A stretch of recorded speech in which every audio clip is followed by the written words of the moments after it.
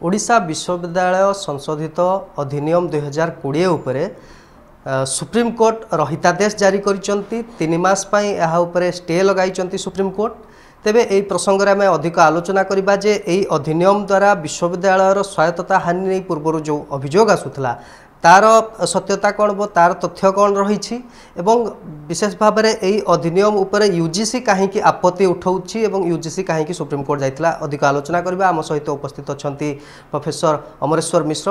Sir ଆପଣଙ୍କୁ ସ୍ୱାଗତ କରୁଛି ଆମର ଏ ଆଲୋଚନାକୁ। ସାର୍ ଏଇ ଯେଉଁ ଆ, ପ୍ରଥମେ ତ ପ୍ରତିକ୍ରିୟା ମୁଁ ଆପଣଙ୍କୁ ପ୍ରାଥମିକ ପ୍ରତିକ୍ରିୟା ନେବା ପାଇଁ ଚାହିଁବି ଯେ ସୁପ୍ରିମକୋର୍ଟଙ୍କ ରହିତାଦେଶକୁ ନେଇକି ଆପଣ କ'ଣ ମତାମତ ରଖିବେ? ଦେଖନ୍ତୁ ଯେତେବେଳେ ଏଇ ନିୟମଟି କରାଗଲା ସେତେବେଳେ ବହୁତ ଶିକ୍ଷାବିତ୍ ୟାକୁ କ୍ରିଟିସାଇଜ୍ କରୁଥିଲେ ଏବଂ କହିଥିଲେ ଯେ ଏ, ଏ, ଗୋଟେ ବିଶ୍ୱବିଦ୍ୟାଳୟର ଯେଉଁ ନିଜସ୍ୱ କ୍ଷମତା ଥିଲା ଯାହାକୁ ସ୍ୱାୟତ୍ତ ଶାସିତ ବିଶ୍ୱବିଦ୍ୟାଳୟ ତା କ୍ଷୁର୍ଣ୍ଣ ହେବ। ତା'ର କାରଣ ହେଉଛି କୁଳପତି ଯେତେବେଳେ ନିଯୁକ୍ତି ଦିଅନ୍ତି କୌଣସି ପ୍ରଫେସର ଅଧ୍ୟାପକ ହୁଅନ୍ତୁ କିମ୍ବା ପ୍ରାଧ୍ୟାପକ ହୁଅନ୍ତୁ ସେଥିପାଇଁ ଗୋଟେ ସର୍ଚ୍ଚ କମିଟି ଗଢ଼ା ହୁଏ। ସେ ସର୍ଚ୍ଚ କମିଟିରେ ତିନି ଜଣ ସଭ୍ୟ ଥାନ୍ତି ସେଇ ସଭ୍ୟମାନେ ଯେଉଁମାନଙ୍କ ନାଁକୁ ସର୍ବ ତିନୋଟି ନାଁ ସେ ପଠାନ୍ତି କୁଳ କୁଳାଧିପତିଙ୍କ ପାଖକୁ। କୁଳାଧିପତି ସେଥିରୁ ଜଣକୁ ବାଛନ୍ତି। କୁଳ କୁଳପତି ଭାବରେ ବାଛନ୍ତି। ସେଇଭଳି ନିଯୁକ୍ତି ଥିଲା। ତେଣୁ ଏଇଟା କ'ଣ କରାହେଉଥିଲା? ୟୁଜିସିର ନିୟମ ଅନୁସାରେ କାହିଁକିନା ୟୁଜିସି ଏ ଅଧ୍ୟାପକମାନଙ୍କୁ ଦରମା ଦିଏ ତାଙ୍କର ସର୍ତ୍ତାବଳୀ ୟୁଜିସି ସ୍ଥିର କରିଥାଏ। ତେଣୁ ୟୁଜିସିର ନିୟମକୁ ଉଲ୍ଲଙ୍ଘନ କରି ଇଏ ବ୍ୟବସ୍ଥା କରାଯାଉଥିବା ଫଳରେ କେତେକ ଅଧ୍ୟାପକ ବିଭିନ୍ନ ଜାଗାରୁ ଏବଂ ପରବର୍ତ୍ତୀ ସମୟରେ ମଧ୍ୟ କେତେକ ସଂସ୍ଥା ଏହା ବିରୁଦ୍ଧରେ ସ୍ୱର ଉତ୍ତୋଳନ କରିଥିଲେ ଏବଂ ହାଇକୋର୍ଟକୁ ଯେତେବେଳେ କେସ୍ ଗଲା ସେତେବେଳେ ହାଇକୋର୍ଟରେ ସରକାର ତାଙ୍କର ଯେଉଁ ରଖିଲେ ବୟାନ ରଖିଲେ ସେଥିରେ କହିଥିଲେ ଯେ ଏଥିରେ ଆମେ କିଛି ପରିବର୍ତ୍ତନ ଆଣିନାହୁଁ। ଯେଉଁଭଳି ଭାବରେ କୁଳପତି ନିଯୁକ୍ତି ହୁଅନ୍ତି ସେ ଏକା ପ୍ରକାରର ନିଯୁକ୍ତି କରାଯାଉଛି। ଏଥିରେ କୌଣସି ବଦଳିନି ଆଇନ। ଆମେ ୟୁଜିସିର ମଧ୍ୟ ଆଇନ ଉଲ୍ଲଙ୍ଘନ କରୁନାହୁଁ। ତେଣୁ ଇଏ କଥାକୁ ହାଇକୋର୍ଟ ଗ୍ରହଣ କରିଥିଲେ ଏବଂ ସେହି ଅନୁସାରେ ଏଥିରେ ଯେଉଁମାନେ ଆପତ୍ତି କରିଥିଲେ ସିଏ କେସ୍ରେ ହାରିଗଲେ।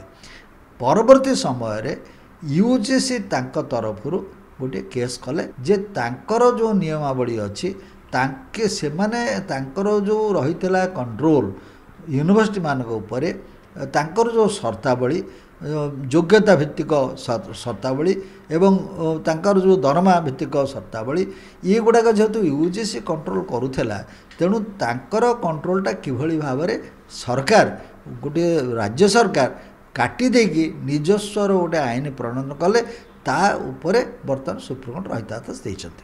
ତେଣୁ ସୁପ୍ରିମକୋର୍ଟ ଏହାକୁ ଶୁଣିଛନ୍ତି ରହିତାଦେଶ ମଧ୍ୟ ତିନି ମାସ ପାଇଁ ଦେଇଛନ୍ତି ବେଶୀ ଦିନ ପାଇଁ ନୁହଁ ଏବଂ ତିନି ମାସ ଭିତରେ ଶୁଣାଣି ହେବ।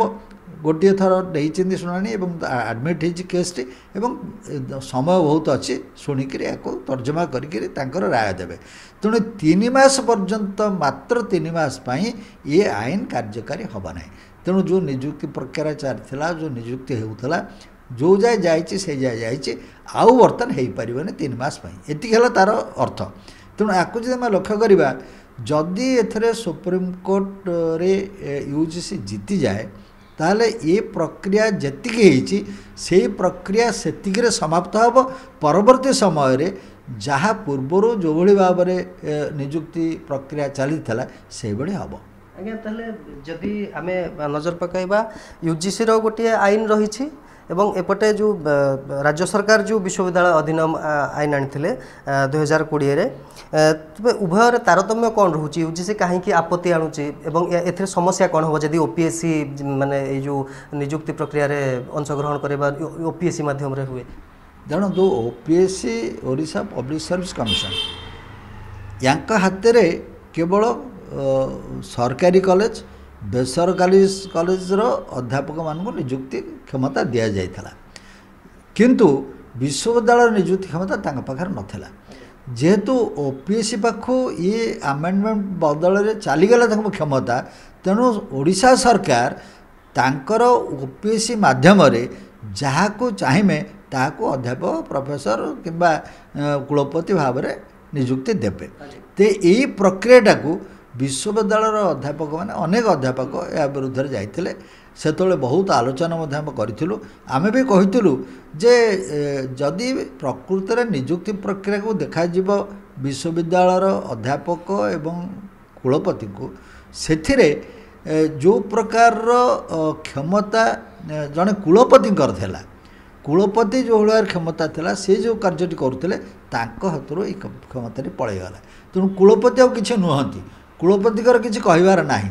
ତେଣୁ କୁଳପତିଙ୍କର କ୍ଷମତା କ୍ଷୁର୍ଣ୍ଣ ହେଉଥିବା ଫଳରେ ବିଶ୍ୱବିଦ୍ୟାଳୟ ତରଫରୁ ଏହା ଏହା- ବିରୁଦ୍ଧରେ ସ୍ୱରୋତ୍ତୋଳନ ହେଇଥିଲା।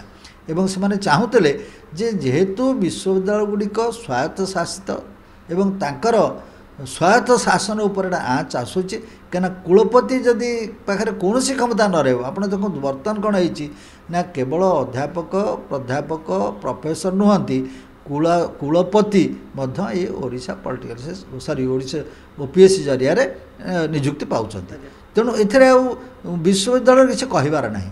ତେଣୁ ଯଦି ବିଶ୍ୱବିଦ୍ୟାଳୟରେ କିଛି କହିବାର ନାହିଁ ତେଣୁ କୁଳପତି ଯାହା ବି କରିବେ ସେ କେବଳ ସରକାରଙ୍କ ନିର୍ଦ୍ଦେଶରେ କରିବେ। ସେ ନିଜସ୍ୱ କିଛି କରିପାରିବେ ନାହିଁ। କାହିଁକି ସେଥିରେ ଆଉ ସେ- ଗୋଟେ ସିଣ୍ଡିକେଟ୍ ଥିଲା। ସିଣ୍ଡିକେଟ୍ ଅ, ଅ, ଯାହା କହେ ଯେଉଁଟା କୁଳପତି କରନ୍ତି ସେଇଟା ସିଣ୍ଡିକେଟ୍ରେ ଆପ୍ରୁଭ୍ ହୁଏ। ଆପ୍ରୁଭ୍ ହେଲା ପରେ ସେଇଟା ସରକାରଙ୍କର ଅନୁମୋଦନ ହେଇକି କାର୍ଯ୍ୟକାରୀ ହୁଏ। ତେଣୁ ସିଣ୍ଡିକେଟ୍ ଯେଉଁ କ୍ଷମତା ଥିଲା ସେ ସିଣ୍ଡିକେଟ୍ର ମଧ୍ୟ କ୍ଷମତାଟା ସଂକୁଚିତ ହେଇଗଲା। ତେଣୁ ସେଇ ଦୃଷ୍ଟିରୁ ସମସ୍ତେ ଏହାର ମାନେ ବିରୋଧ କରିଥିଲେ। ସିଣ୍ଡିକେଟର କ୍ଷମତା କେମିତି ସଂକୁଚିତ ହେଲା? ସେଥିରେ ବି କିଛି ପରିବର୍ତ୍ତନ ଆଣିଥିଲେ କି ଆଇନ? ଶୁଣନ୍ତୁ ବର୍ତ୍ତମାନ ଗୋଟେ ଦେଖନ୍ତୁ ସାଧାରଣ କଥା ମୁଁ କହିବି। ଯେ ଧରନ୍ତୁ ଆପଣଙ୍କର ଜଣେ ପ୍ରଫେସର ଏରିୟର ଟଙ୍କା ପାଇନାହାନ୍ତି। ଏରିୟର ଟଙ୍କା ଯଦି ପାଇନାହାନ୍ତି ନିୟମ ଅନୁସାରେ ତାଙ୍କର ପାଇବା କଥା। ଆଗରୁ ନିର୍ଦ୍ଧାରିତ ହେଇଛି ଦରମା ବଢ଼ିବ ପେନସନ୍ ବଢ଼ିବ ଏବଂ ତାଙ୍କର ଏରିୟର ଟଙ୍କା ପାଇବେ ବର୍ତ୍ତମାନ କ'ଣ ହେଉଛି ଯେ ରିସେଣ୍ଟଲି ଆମେ ଦେଖିଲୁ ଯେ ଉତ୍କଳ ବିଶ୍ୱବିଦ୍ୟାଳୟରେ ସେମାନେ ସିଣ୍ଡିକେଟ୍ ଦ୍ୱାରା ଏଟା ନ କରିକିରି ସେମାନେ ସରକାରଙ୍କ ପାଖକୁ ପଠାଇଦେଲେ। ଯେ ସରକାରଙ୍କର ଫାଇନାନ୍ସ ଡିପାର୍ଟମେଣ୍ଟ ସରକାରଙ୍କର ଏଡୁକେସନ୍ ଡିପାର୍ଟମେଣ୍ଟ ଆକୁ ଆପ୍ରୁଭ୍ କଲେ ସେ ତାଙ୍କର ଏରିଆ ଟଙ୍କା ପାଇବେ। ଯେଉଁଟା ତାଙ୍କର ରାଇଟ୍ ତାକୁ କେହି ବନ୍ଦ କରିବେ ନେଇପାରିବେନି। କିନ୍ତୁ ଏହା ଫଳରେ ଡିଲେ ହେଇଗଲା।